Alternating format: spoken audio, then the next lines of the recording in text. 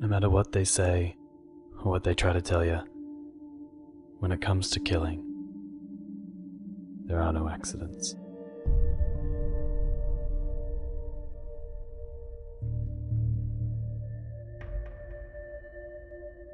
So, did you have a close relationship with your father? Haven't fucking seen my dad since he walked out on me and my mum. Do you have any idea why we actually brought you in here today, Ben?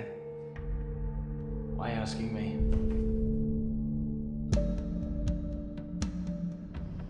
He killed my mum.